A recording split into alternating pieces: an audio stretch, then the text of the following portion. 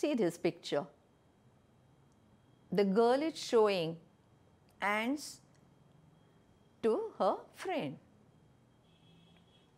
The friend is astonished to see the ants walking in a queue. Here, the boy is the receiver of the message. The girl is talking to him and pointing out the queue of ants. So, receiver is the person or maybe a system who or which receives the message. Message reaches to the receiver after starting from the sender.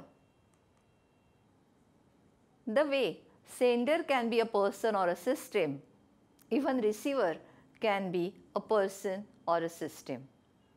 Or even receiver can be a human being but receiving messages from a system.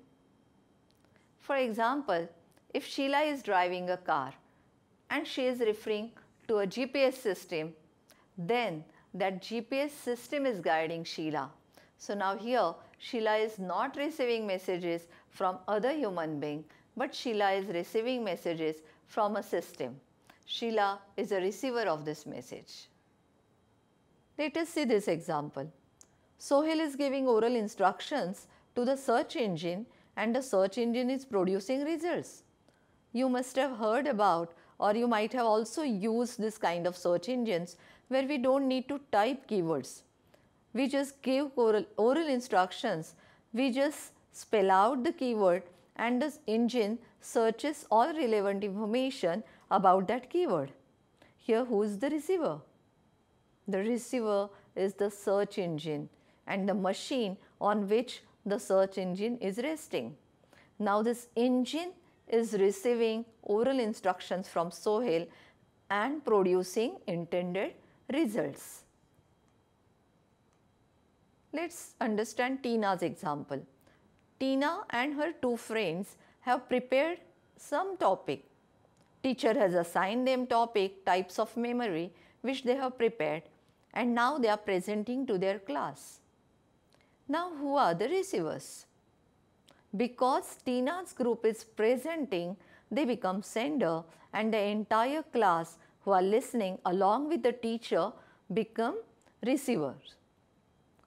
This is a situation where teacher is also in the role of receiver instead of being in the role of the sender. Do you like this picture? Here, who's the receiver? Teddy is the receiver. So, receiver is listening to the message. Receiver is the person who receives message. It may be a person or an animal or a system or a group of persons. Understanding message is their responsibility. Let's see what all a receiver does. First, receiver has to attend to the message. So, whenever sender sends a message and whenever receiver understands that some message is reaching to the receiver, him or her, then receiver first attends to the message. After attending to the message, receiver receives, perceives the message. So, it is not only about attending, but you need to perceive that message in its correct form.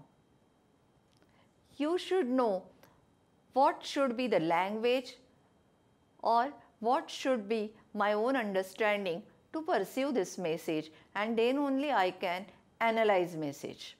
So, receiver's role does not stop at perceiving the message, but receiver needs to analyze the message, tries to understand nature of the message, tries to understand content of the message. After analyzing the message, the receiver needs to give feedback. Basically, receiver responds back to the sender saying that I have understood the message and this is my feedback. This feedback may be positive or negative, but this is just the process of letting the sender know that I have received your message and this is my response to your message. Giving this feedback is a responsibility of the receiver and for giving this feedback receiver again needs to select some message, some medium and some form. Exactly the way sender has sent the message, receiver also needs to send the feedback.